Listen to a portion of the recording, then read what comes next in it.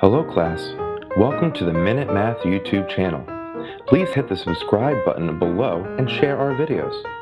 You can also find great math content and links to all of our videos at www.minutemathtutor.com. Alright now, enjoy the lesson.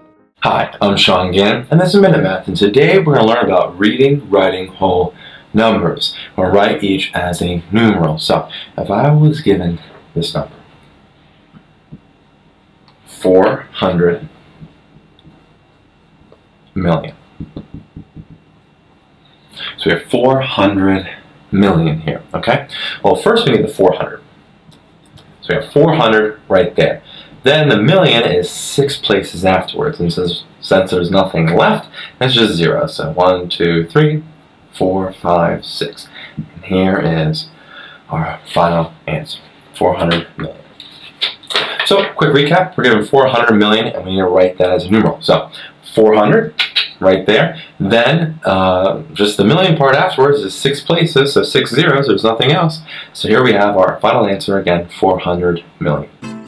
Hi, I'm Sean Gannon, the creator of Minute Math. And if you like this video, please hit the like button that's right there. If you have a mathematical question, just add it to the comment section below. And lastly, if you want to see more videos just like this one, hit subscribe. It's right there. But as always, thanks for watching.